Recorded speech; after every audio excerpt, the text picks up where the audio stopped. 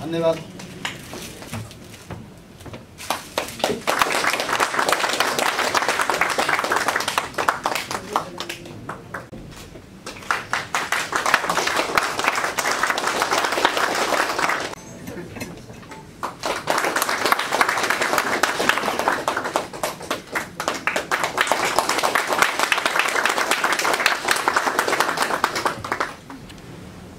अब करिब छब्बिस वर्ष छ महिनाको ने नेपाल विद्युत प्राधिकरणको सेवा अवधिमा आफूले प्राप्त गरेका अनुभवहरू र कार्यकारी निर्देशकको रूपमा कार्य सम्पादन गर्दाखेरि का भएका अनुभवहरू त्यसका उपलब्धिहरू त्यो अवधिमा प्राप्त गरेका चुनौतीहरू र नेपाल विद्युत प्राधिकरणले अब भावी दिनहरूमा के कस्तो कार्यदिशा लिन उपयुक्त हुन्छ र के कस्ता चुनौतीहरू छन् यो सम्बन्धमा छोटो प्रकाश पारिदिन हुनको लागि म कार्यकारी निर्देशक विदाय हुँदै गर्नुभएका कार्यकारी निर्देशक फुलमान घिसिङ सरलाई हार्दिक अनुरोध गर्दछु।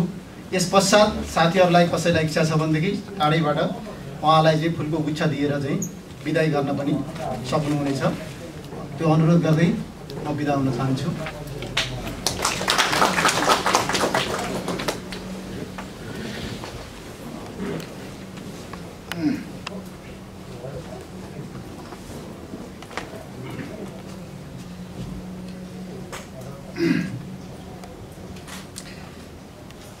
यो विदाई कार्यक्रममा उपस्थित नेपाल विद्युत प्राधिकरणका उपकार्यकारी निर्देशकज्यूहरू निर्देशकज्यूहरू उपस्थित सम्पूर्ण कर्मचारी साथीहरू आधिकारिक तथा क्रियाशील ट्रेड युनियनका साथीहरू पत्रकार साथीहरू सबैलाई मेरो नमस्कार। आज चार वर्षको मेरो कार्यकाल समाप्त भएको दिन जुन विदायको कार्यक्रम भइरहेको छ मलाई एकदमै खुसी लागेको छ। यसरी विदाय हुन पाउँदा मलाई एकदमै खुसी लाग्छ। वास्तवमा मेरो विदाई अट्ठाइस गते हो कि भन्ने हिसाबले हामीले केही छलफल पनि गरेका थियौँ। तर हाम्रो ऊर्जा मन्त्रालय अन्तर्गत र मेरो बिचमा पनि जुन कार्य सम्पादन सम्झौता भएको रहेछ त्यसमा स्पष्ट खुलाएको रहेछ कि मेरो कार्यकाल चाहिँ दुई हजार त्रिहत्तर साल भदौ एकतिसबाट सतहत्तर साल भदौ तिस गतेसम्म भन्ने प्रश्न खुलाएको रहेछ। त्यो भएको हुनाले आजलाई नै अन्तिम मान्नुपर्छ होला भनेर आजको जुन विदाय कार्यक्रम हामीले गरेका छौँ। यो विदाय कार्यक्रममा तपाईँहरूसँग बसेर केही सेयरिङहरू गर्न पाउँदा मलाई एकदमै गौरव महसुस भएको छ। एकदमै खुसी लागेको छ। मैले केही विषयहरू लेखेर ल्याएको छु केही छुट लागि भनेर। म केही बोल्छु र केही पढ्छु पनि। यो विदाईमा हुने हुने बेलामा मलाई वास्तवमा मलाई मेरो जुन लक भनौँ जेसुकै भने पनि बिदाई हुने बेलामा अलिकति गडबड गडबड चाहिँ हुँदो रहेछ। अलि ठ्याक्कै यही यसरी नै जाने भनेर अलिकति अप्ठ्यारो परिस्थिति। म चिलिमेमा हुँदाखेरि मलाई त्यो अनुभव छ। वास्तवमा चिलिमेबाट त म बिदाई नहुने नभइकनै पनि आएको अवस्था हो। बिदाई नै मैले जे गरेको थिएँ मैले त्यो सेयरिङ पनि गर्न नपाएर म आएँ। यहाँ हाजिर हुनु पऱ्यो। त्यो एउटा तितो अनुभव अनुभूति मैले सँगालेको थिएँ। मलाई के लागेको थियो भने अब चिलिमेबाट बिदाई पनि गर्न पाएन। तर चिलिमेबाट बिदाई गर्न नपाए पनि चिलिमेमा चिलिमे भनेको त एउटा अर्गनाइजेसन न हो। चिलिमेमा फेरि पनि आउला नि त चिलिमेमा त म कार्यकारी निर्देशक भएर आउनै परेन। म त्यहाँ चेयरम्यान भएरै आउँला भनेको त त्यो पनि सफल भयो मेरो म चेयरम्यान भएर त्यहाँ चि चिलिमेमा अहिले पनि चाहिँ चार वर्ष चलाए चलाइरहेको छु यो संयोग पनि हुँदो रहेछ र हाम्रो एउटा प्रयास र हामीले एउटा निश्चित गन्तव्य चाहिँ तय गरेपछि त्यो सफलतातिर पनि अगाडि बढ्दो रहेछ भन्ने मलाई चाहिँ लागेको विषय हो। सिलिमीबाट आइसकेपछि म एकचोटि विद्युत प्राधिकरणको कार्यकारी निर्देशक भएर मात्रै म चाहिँ एक्जिट हुन्छु भन्ने थियो। बिचमा चाहिँ मलाई एकदमै फ्रस्ट्रेसन पनि भएको थियो। यहाँ बसेर हाजिर गर्न पनि अप्ठ्यारो। बिहान आयो हाजिर गऱ्यो बस्ने ठाउँ छैन। फेरि साथीहरूकोमा बस्दा बस्दै पनि उहाँहरूलाई पनि अप्ठ्यारो हुने। कहाँ बस्ने पनि थाहा नहुने फेरि घर गएर आएर हाजिर गर्नलाई मनले पनि नमान्ने। कस्तो परिस्थितिमा म एक डेढ वर्ष बित्यो। त्यो बेला मैले राजीनामा पनि दिन गर्न गर्न लागेको थिएँ। वास्तवमा यो एकदमै पीडादायक हुँदो त्यो पीडाको समयमा धेरै साथीहरूले राजीनामा चाहिँ गर्नु हुँदैन मलाई पनि एउटा चाहिँ के हो भने सबैले भन्नुभएको थियो यो राजीनामा गरेर जानुभन्दा। एक दिन भए पनि विद्युत प्राधिकरणको एमडी भएर जान पायो भने केही काम चाहिँ गर्छु भन्ने मलाई चाहिँ लागेको थियो। र त्यही अन- अनुसार मैले अपर्च्युनिटी मौका पनि पाएँ यहाँहरूको सहयोग पनि पाएँ सबैको सहयोग पायो। अनि जुन हिसाबले नेतृत्वले ऊर्जा मन्त्रालयको नेतृत्व तत्कालीन प्रधानमन्त्रीदेखि लिएर सबैको जुन सहयोगले म चाहिँ कार्यकारी निर्देशकमा नियुक्त पनि भयो र काम गर्ने अवसर पनि प्राप्त भयो र त्यो हिसाबले केही रिजल्ट पनि दिन सक्यो त्यो मेरो लागि एकदमै सौभाग्य नै ठान्छु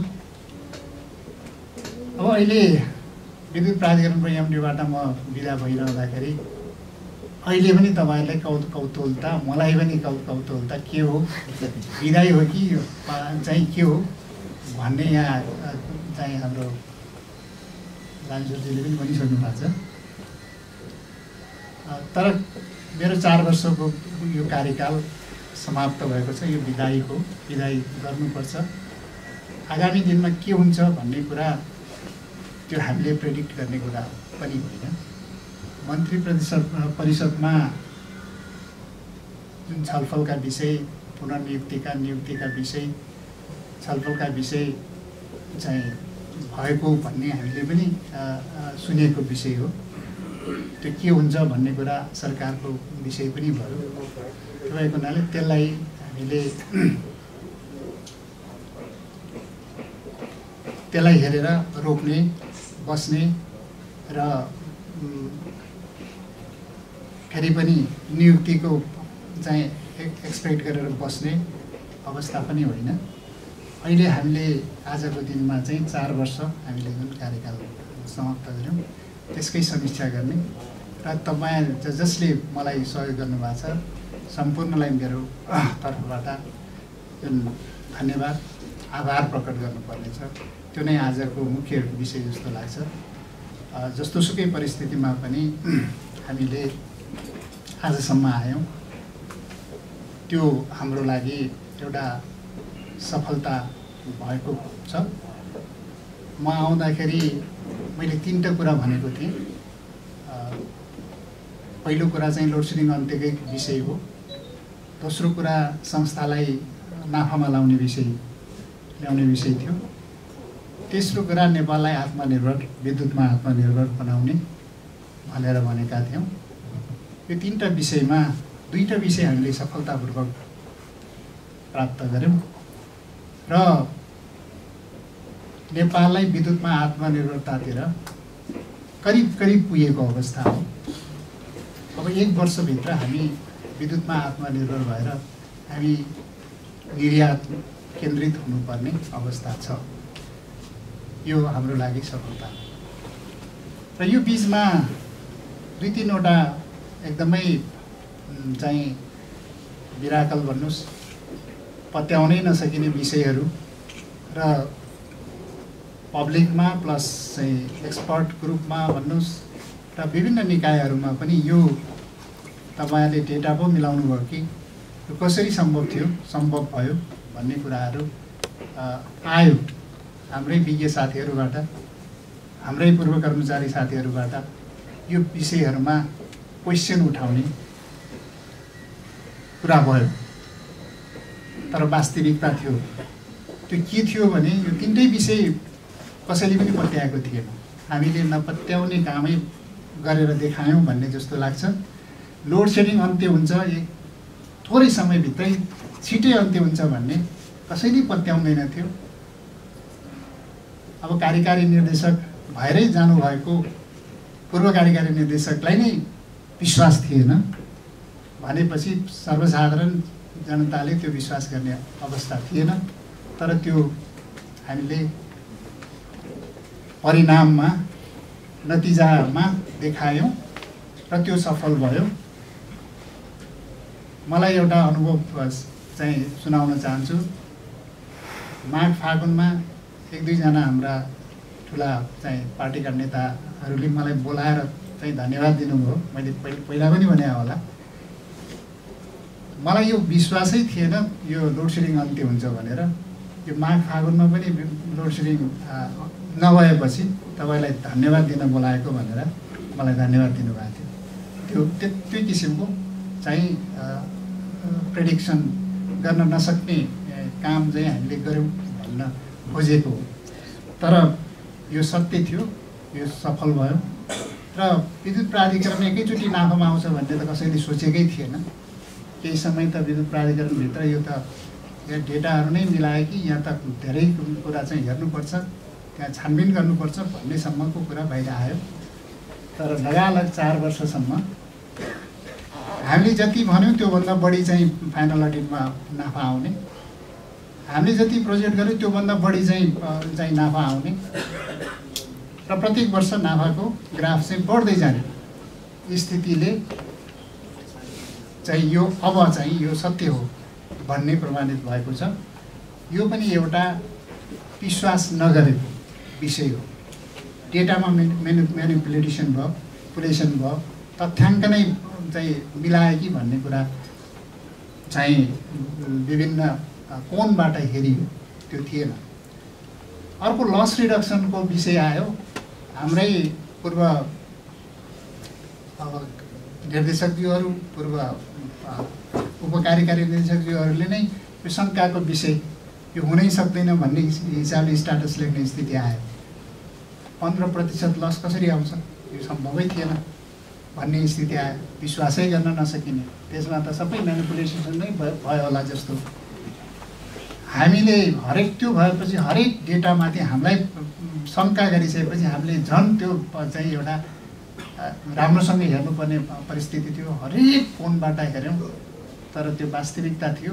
लस रिडक्सन पन्ध्र प्रतिशतमै हामीले पन्ध्र पोइन्ट दुई दुई सात प्रतिशतमै झाऱ्यौँ अहिले। यसपालि कोभिड नभएको भए करिब तेह्र प्रतिशतमा झर् झर्ने अवस्थामा थियो।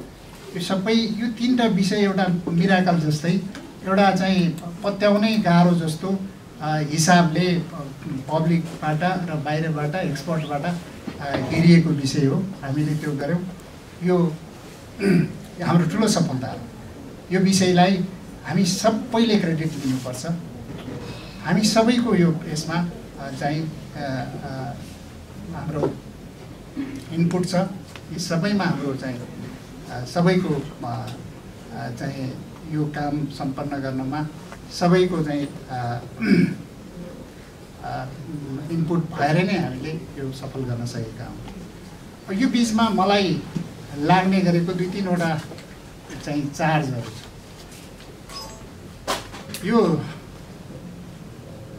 त्यो पनि मलाई लाग्छ त्यो कसरी बाहिर पब्लिकमा आइरहेछ मैले जुन पब्लिकमा भनौँ बाहिर जुन मिडियामा बाहिर बुझ्नेले अथवा जो जसले बुझिरहेछ त्यो त्यो जस्तो लाग्दैन। पहिलो चाहिँ चार्ज चाहिँ सबै क्रेडिट चाहिँ कुलमान घिसिङले लिन्छ भनेर सब भन्ने गरी गरिएको सुनिएको विषय छ। कामको क्रेडिट सबै चाहिँ कुलमान घिसिङले लिएको भन्ने। यो वास्तवमा यो विद्युत प्राधिकरण नेपाल सरकारको मन्त्रालयभित्रको एउटा निकाय हो। सरकारको नीति तथा कार्यक्रम यसले इम्प्लिमेन्ट गर्छ। सरकारको निर्देशन यसले मान्नुपर्छ। सबै कुरा यसले सरकारकै अधीनमा बसेर काम गर्नुपर्छ। भनेपछि हामीले यहाँको एकजना कार्यकारी निर्देशकले मात्रै यो का काम गर्यो यसको क्रेडिट लियो भन्ने कुरा त्यो चाहिँ गलत हो। मैले तपाईँहरूको कुनै पनि ठाउँमा कुनै पनि चाहिँ कार्यक्रममा मैले बोल्ने गर्दाखेरि जहिले पनि यो सामूहिक प्रयासबाट सम्पन्न भएको छ। सामान्य प्रधानमन्त्रीज्यूको जुन निर्देशन मार्ग निर्देशनदेखि लिएर माननीय मन्त्रीज्यू सचिवज्यू हाम्रा बोर्डका सदस्यहरू छन्। हामी यहाँ उच्च पदस्थ उपकार्यकारी निर्देशकज्यू हुनुहुन्छ। तपाईँहरू हुनुहुन्छ सबै कर्मचारीहरूको र पब्लिकको पनि यो जुन जुन किसिमले सपोर्ट छ यो सामूहिक प्रयासले हामीले सफल गरेका छौँ। म एक्लैले मैले काहीँ पनि एक शब्द बोलेको पनि छैन त्यो सत्य पनि होइन। सबैको प्रयासले मात्रै यो सम्भव। मैले यो गर्नुपर्छ एउटा लिडरसिप दिने यहाँको लिडरसिप दिने कुरा हो तर मलाई लिडरसिप दिने त मन्त्री हुनुहुन्छ प्रधानमन्त्री हुनुहुन्छ। त्यो हुनाले यो सम्पूर्ण क्रेडिट मैले लिएको छैन। लिनु पनि हुँदैन। सम्पूर्ण क्रेडिट सरकारलाई जान्छ सम्मान्य प्रधानमन्त्रीलाई जान्छ माननीय मन्त्रीज्यूलाई जान्छ सचिवज्यूलाई जान्छ तपाईँ हामी सबैले चाहिँ यसको क्रेडिट लिनुपर्छ र आम पब्लिकबाट जुन हिसाबले हामीलाई सपोर्ट भयो लोड सेडिङको बेलामा बेल बेलुका चाहिँ बत्ती चाहिँ अलिक चाहिँ कम बाल्नु पऱ्यो अथवा यस्ता चाहिँ ठुला जुन खपत गर्ने इक्विपमेन्टहरूलाई कम चलाउनु पऱ्यो भन्दाखेरि कस्तो सहयोग भएको थियो त? त्यो पनि एउटा चाहिँ ठुलो सहयोग हो नि त। त्यो हुनाले यो सामूहिक प्रयास थियो। यो एउटा चाहिँ मलाई चार्ज गर्ने गरिन्छ। त्यो पनि मेरो उसमा त्यो सही होइन। बुझ बुझ्दाखेरि त्यसरी बुझिएको होला। फेरि चाहिँ मिडियाले विद्युत प्राधिकरणको एमडीलाई नै फोकस गरेर लेख्नुहुन्छ। त्यो भएको हुनाले मेरो बढी प्रचार भएको होला। त्यो एउटा पार्ट हो। अब मिडिया लाई मैले धेरै मिडिया चाहिँ मोबिलाइज गर्यो भन्ने विषय पनि होइन। धेरै जसो मिडियामा त म लुकी लुकी हिँडेको छु। इन्टरभ्यू दिउँ भन्दाखेरि हुँदैन। बिचमा चाहिँ अर्को हप्ता अर्को हप्ता भन्दा भन्दै म चाहिँ छल्दै छल्दै पनि हिँडेको छु। मिडियामा आउनु पनि चाहेको हुँदैन। तर मिडिया आफैले फलोअप गरेको मिडियाका साथीहरूले यति हामीलाई सहयोग गरेको छ। हाम्रा काममा उहाँहरूले भएको कामलाई चाहिँ पब्लिकसम्म पुर्याउने काम उहाँहरूले गर्नुभएको छ। हाम्रा नतिजालाई चाहिँ बाहिरसम्म ल्याउने काम गर्नुभएको छ। तर हामीले मिडियालाई यो लेखिदेऊ न साथीहरू भनेर कहिले पनि भनेको छैन। के छ भनेर उहाँले आफैले फलोअप गरेर हिँड्नु भएको छ। त्यो चाहिँ त्यो पनि एउटा मिडिया अ, का साथीहरूको हामीप्रतिको सदाशयता हामीप्रतिको विश्वास जस्तो लाग्छ। सबैले हामीलाई विश्वास गरेर हाम्रा राम्रा कुरालाई र हाम्रा नराम्रा कुरालाई पनि उहाँहरूले चाहिँ ल्याउनु भएको छ बाहिर यो क्रिटिकल एनालाइसिस गर्नुभएको छ। यस्ता नराम्रो भएको ठाउँमा पनि त ल्याएको छ मिडियाले त। राम्रो मात्रै ल्याएको छ त्यो भएको हुनाले राम्रो कुरा पनि ल्याएको छ नहुने काम कुरा पनि ल्याएको छ हुने कुरा पनि ल्याएको छ तर क्रिटिकल्ली ओभरअलमा मिडियाको कुरा गर्दाखेरि उहाँहरूले राम्रो हिसाबले प्राधिकरणको सबै गतिविधिलाई अगाडि ल्याउनु भएको छ। त्यो भएको हुनाले तपाईँले के गर्यो भन्ने कुरा महत्त्वपूर्ण हो तर त्यो आम पब्लिकसम्म गयो कि गएन भन्ने पनि महत्त्वपूर्ण कुरा हो। त्यो हुनाले त्यो काम चाहिँ त्यो ब्रिजिङको काम त्यो काम चाहिँ हामीले मिडियालाई टाइम टाइममा दिएका छौँ। त्यो भएको हुनाले बाहिर पब्लिक भएको छ। त्यो एउटा पार्ट हो। अर्को चाहिँ तेस्रो चाड चाहिँ यो कुलमान घिसिङले कसैले भनेकै मान्दैन। आफै एक्लै डिसिसन गर्छ। सबै कुरा चाहिँ आफै गर्छ। कर्मचारीले भनेको पनि मान्दैन। भन्ने कुराहरू छन्। त्यसमा त म के भन्छु भने त्यसमा पनि सत्यता छैन। मैले प्राधिकरणको हितको लागि केही कुराहरूमा स्ट्यान्ड लिएकै हुन्छु लिएको पनि हो। ट्रेड युनियनका साथीहरूले राम्रा कुरा ल्याउँदाखेरि हामीले सहज रूपमा मानेका छौँ उहाँहरूको कुरा पनि मानेका छौँ। विभिन्न पोलिटिकल पार्टीका अथवा विभिन्न चाहिँ पार्टीका चाहिँ मान्यज्यूहरूले भनेका कुरामा पनि हामीले सहज रूपमा हेर्नुपर्छ। जुन कुरा हुँदैन गर्न सकिँदैन त्यो त्यसलाई हामीले वास्तविकता देखाइदिनुपर्छ। त्यो देखाउने काम पनि भएको छ। र जुन कुराले संस्थालाई हित गर्दैन जुन काम हामीले कार्यान्वयन गर्दा संस्था हित- हितमा आउँदैन त्यसमा स्ट्यान्ड लिनुपर्छ। मैले त्यो स्ट्यान्ड लिएको मात्रै। र चाहिँ कसैले भनेको नमानेको होइन कि। त्यसलाई सही काम गरेको। राइट म्यान राइट प्लेस भन्ने कुरालाई सबैमा राइट प्लेस भएन होला। अधिकांशमा हुन्छ। पहिला पहिला त सुरु सुरुमा त मैले मैले पनि चाहिँ कर्मचारी साथीहरू चिनेन। यहाँकै चाहिँ हाम्रा साथीहरू। सबभन्दा बढी त शान्तिजीसँग हामीले सहकार्य गऱ्यौँ। प्रशासनका हाम्रा सबै साथीहरू हुनुहुन्छ। हाम्रो डिएमडी यो डिसिएस उहाँलाई पनि धेरै कुरा जानकारी भएको थियो उहाँहरूको र लेखाको सबैको चाहिँ सहयोगबाट मैले कर्मचारीहरूलाई को कस कता के भइरहेछ भन्ने कुराहरूलाई जजमेन्ट गरेर केही कुराहरूमा गल्ती पनि भएको छ। त्यो गल्तीलाई स्वीकार गर्नुपर्छ। त्यो त्यो विषयलाई चाहिँ हामीले त्यति ठुलो लिनु हुँदैन। मैले सबै कुरा संस्थाको हितको लागि कसैले भनेको मानेन। भन्नुभन्दा मैले संस्थाको हितको लागि गरेको मैले पर्सनल मेरो लागि गरेको होइन। संस्थाको हितको लागि काम गर्दाखेरि कसैलाई चाहिँ अलिकति चाहिँ त्यस्तो चित्त दुखाइ भयो होला तर त्यसलाई ठुलो मान्नु चाहिँ त्यति उचित जस्तो लाग्दैन। अब यो विषयहरू अलिकति मेरो विषयमा उठेका चाहिँ विषयहरू हो। मैले अलिकति क्लियर गर्न मात्रै चाहेँ। अब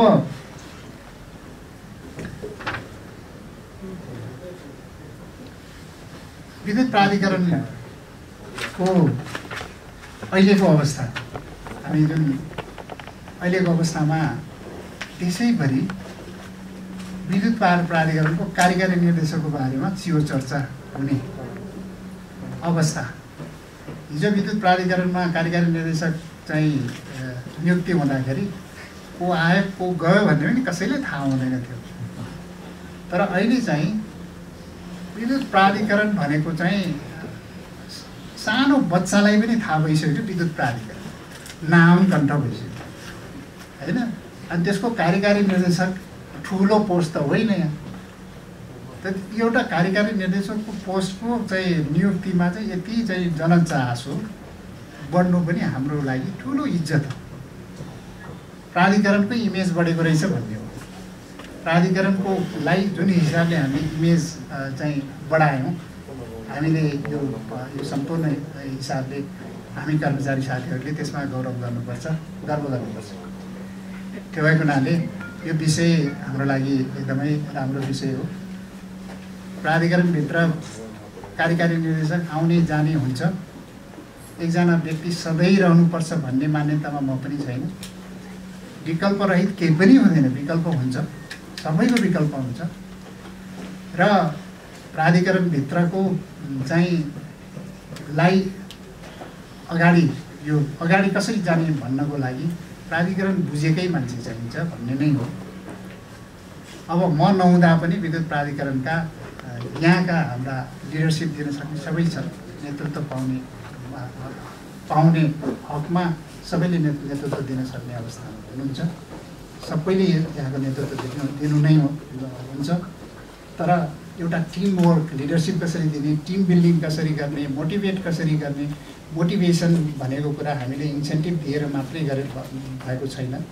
इन्सेन्टिभ हामीले धेरै दिन सकेका पनि छैन। हिजोको भन्दा हामीले केही बढी गऱ्यौँ। मैले पहिला भनेको थिएँ हामीले केही राम्रो गऱ्यौँ भने त्यो राम्रोले छोप्छ र केही इन्सेन्टिभ दिनलाई पनि सजिलो हुन्छ। अहिले हामीले केही इन्सेन्टिभ दिँदा पनि कहीँ विरुद्ध आएको छैन। त्यो राम्रोले छोपेको छ। अनि संस्था चाहिँ घाटा हुँदै जाने अथवा संस्था चाहिँ बिग्रिँदै जाने संस्थाको लोकप्रियता घट्दै जाने अनि हामी चाहिँ बढी चाहिँ इन्सेन्टिभ त्यसको सुविधाहरू खोज्दै गयो भने त्यसमा विरोध हुन्छ। अहिले भएकै त्यही हो होइन? त्यो भएको त्यो भएको हुनाले अब आँप धेरै फल्यो भने त्यहाँ सबैले खान पाइन्छ। अब रुखै काटेपछि त गाह्रो हुन्छ। त्यो भएको हुनाले यो हाम्रो लागि अहिले कर्मचारीको वृत्तमा पनि केही सुविधाहरू हामीले थप गर्न सकेका छौँ। त्यसलाई ठुलो चाहिँ धेरै गऱ्यो भने भनेको होइन। आगामी दिन